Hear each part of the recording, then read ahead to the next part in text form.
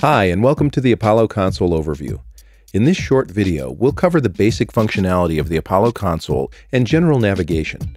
For more information, be sure to watch the other videos in this section and read the user guides installed with your UAD software. Console is the simple yet powerful control software for your Apollo system. It runs on your host computer, but all audio is handled inside Apollo, which gives you extremely low fixed latency even when loaded up with UAD plugins. When used with a DAW for recording, Console replaces your DAW's software monitoring, so you hear live inputs through the console and only hear playback from the DAW. Settings vary from system to system. For example, you turn off software monitoring in Logic, turn on low latency monitoring in Pro Tools, and set track monitoring to off in Ableton Live. Monitoring through the console gives you the lowest possible input latency, no matter what DAW or buffer size you use. The console is easy to use and provides a familiar analog-style workflow with quick access to the features you need most.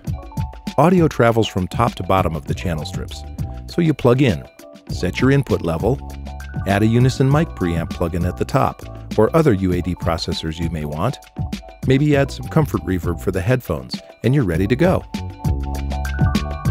Each channel strip gives you access to inputs, UAD plugin inserts, sends, routing, pan, level, solo, and mute. Use the meter bridge to scroll the inputs or jump to a specific channel.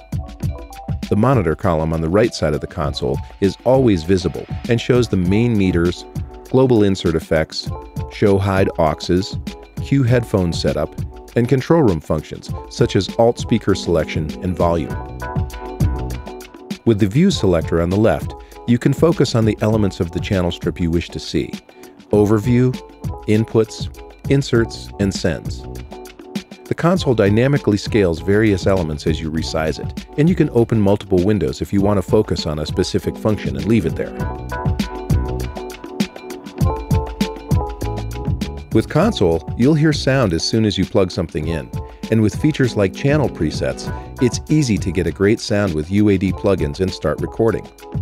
If you're not sure about your sound, you can always choose to record without plugins and just hear them in the monitors. The choice is yours. Feel free to experiment.